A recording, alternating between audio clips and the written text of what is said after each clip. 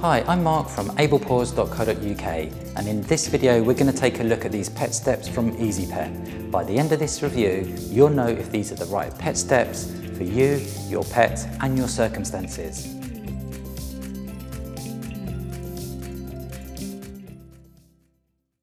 Okay, so before we take a closer look at these pet steps from Easipet, we need to get them unboxed and see how much assembly is required. Okay, so let's do that now.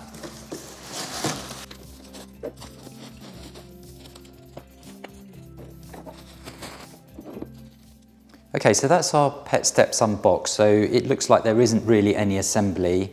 Uh, so what you do get in the box is you get the four pads. Um, these are self-adhesive, which will stick onto the steps. And you also get four rubber feet here, and they will go on the base of the pet steps to stop them sliding. Uh, you also get an instruction sheet there, not that we need much instructions for these, so let's get these put together and then we can test them and see how well they work.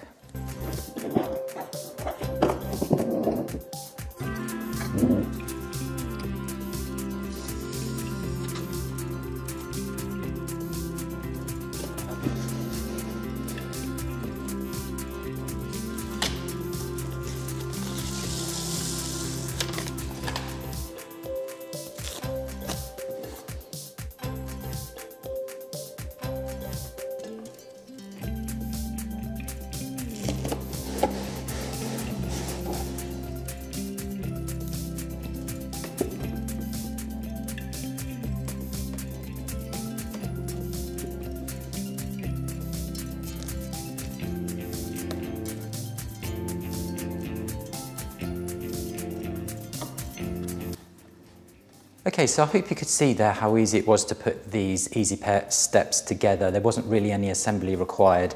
You just needed to stick on these four self-adhesive pads that go on each step and that's going to help to um, stop your dog slipping as they go up the steps uh, onto the sofa or the bed or whatever you're going to be using the pet steps for. So the other thing that needed to go on was these four pads here this is again going to stop the, the pet steps from slipping. So particularly on my floor here, which is a very shiny tiled floor, the last thing you want is the, uh, your pet going up the steps and particularly on this last step, kicking back and the pet steps slide away from, from, the, from the surface. Um, so that's a really good touch there.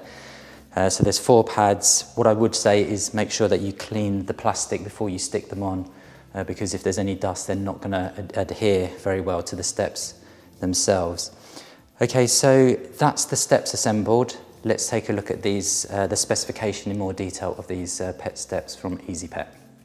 So looking at these pet steps in a little more detail. So the, the first thing is they're, they're plastic, so they're going to be easy to wipe down.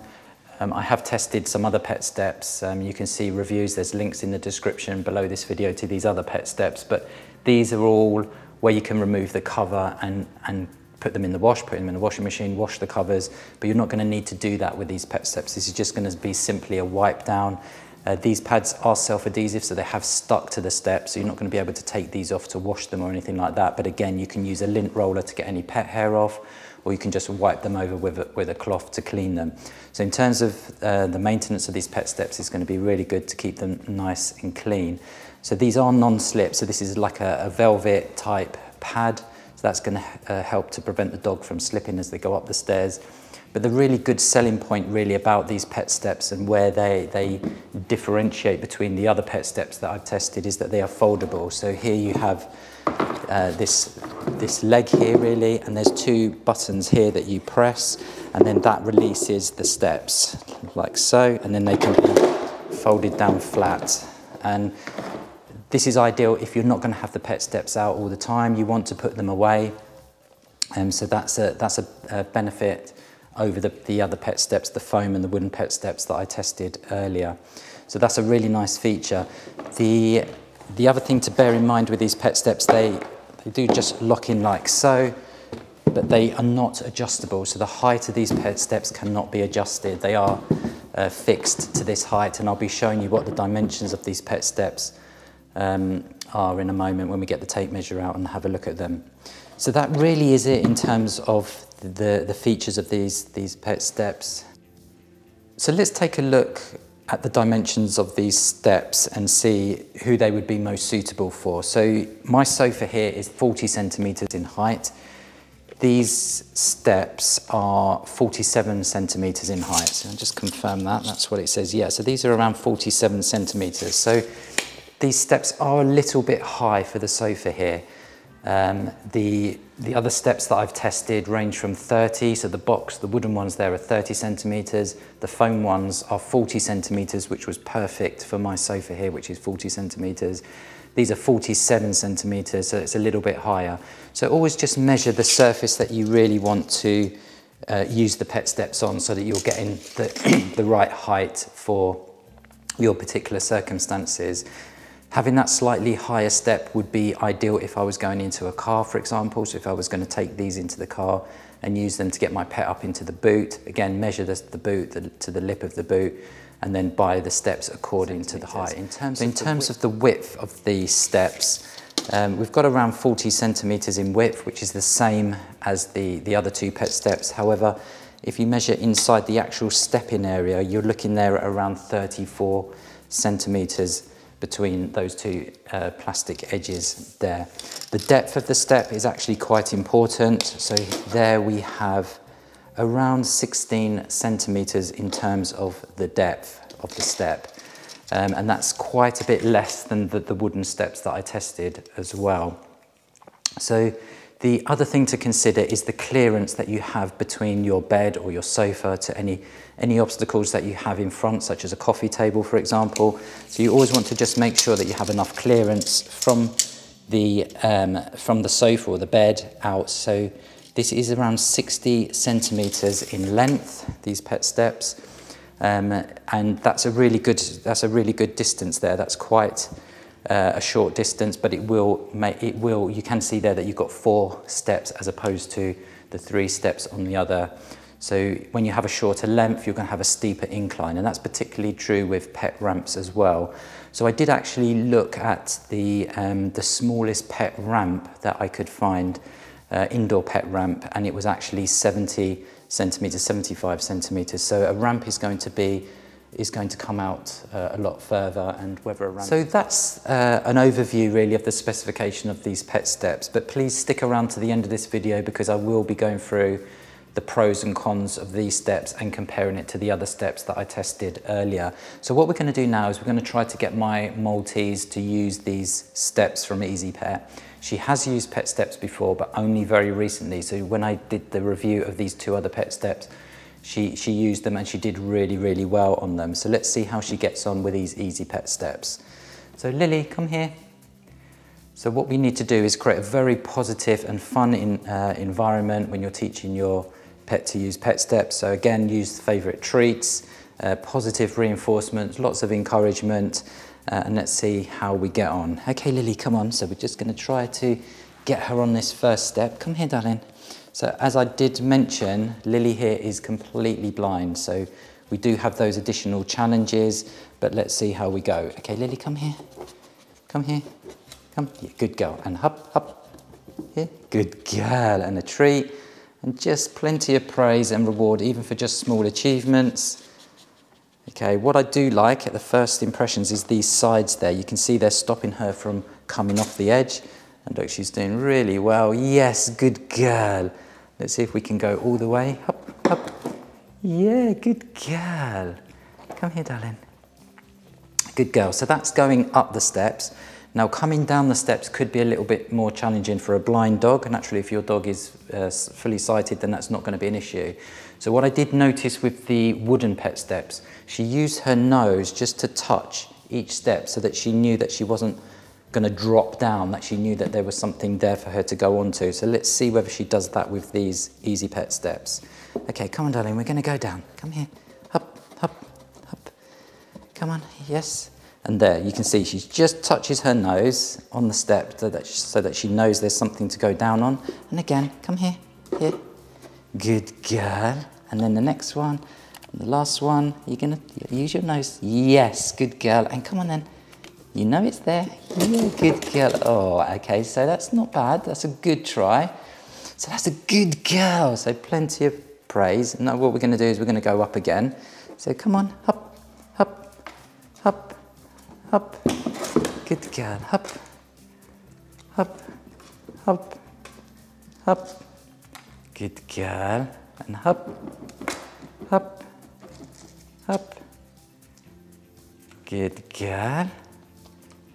Okay, come up and then we're going to... Okay, so with my Lilly here who's completely blind, you can see that these pet steps weren't particularly ideal and I believe that is because of the, the, the depth of the steps. She couldn't actually stop on what just a single step uh, as she could with the wooden steps. Naturally, the foam steps are very curved, so she didn't have a problem with those.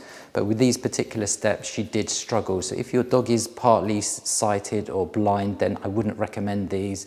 I would be going for something more like the other two pet steps that I tested. And as I said, there's a link in the description below this video to those pet steps. If your pet is fully sighted, then I don't think these are going to be a problem because they're going to be able to see going up the stairs and they're going to be able to see coming down as well. In terms of the pet steps themselves, um, we're now going to take a look at the, the pros and cons of these steps. So in terms of the pros, what I really like about these steps, and when I compare them to the, particularly the foam ones, is how stable they are. They are really, really solid, um, and you don't have that feeling that they're to tip or move if they get kicked from one side or the other. So really, really stable. The other great thing about it, as I said earlier, they're going to be wipeable. They're going to be easy to wipe down and keep clean.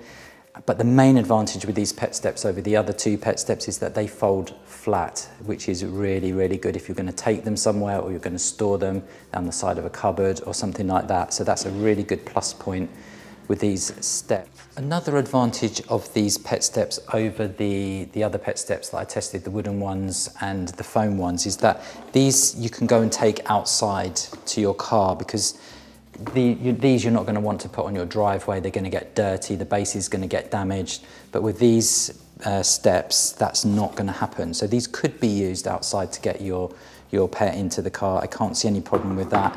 The only thing I would be wary of is these little these feet that stick on.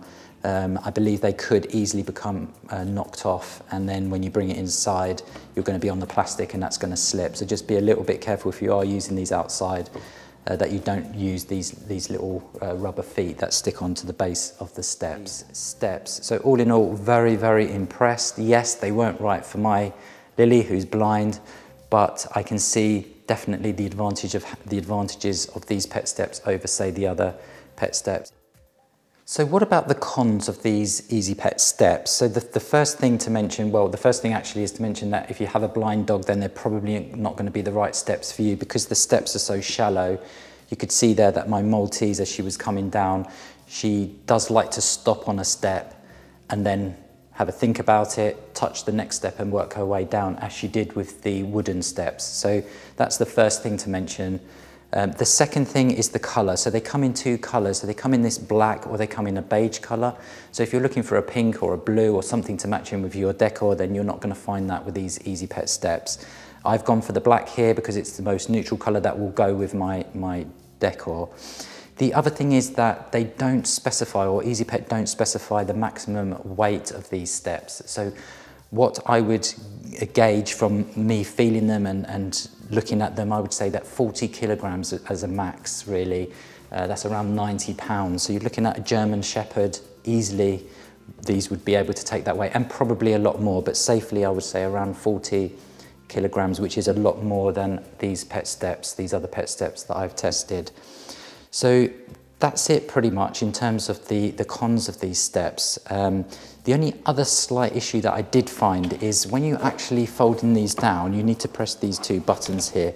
Now I'm sure over time they will become easier, but they can be a little bit, actually they are loosening up already. So uh, that's probably not going to be an issue. But when I first tried them to, to release these, this, uh, this foot here, was a little bit difficult, but that does seem to be loosening up and that does seem to be working okay now. So that's it really. Very minor negatives with these steps. That's it. I hope you found this review useful of these Easipet steps. Uh, if you did, could I please ask that you click that thumbs up button below this video? It'd be much appreciated. And why not hit that subscribe button as well so you get notifications of any future videos that I do. If you have any questions regarding these Easipet steps, then please put it in the comments box below this video and I'd be happy to answer them for you. If you have your own experience of these steps, why not put that in the comments box as well below uh, so that you can let other readers have an insight into how you feel about these steps from Easipet. So if you would like to see more details about the different pet steps and a comparison of what makes the best pet steps, then head on over to the ablepaws.co.uk website where there's lots of reviews. There's also a video there that shows you how to teach your dog to use these steps as well. So head on over there, there's lots more information uh, that will be able to help you make an informed decision. Thanks very much for watching and I'll see you in the next video review.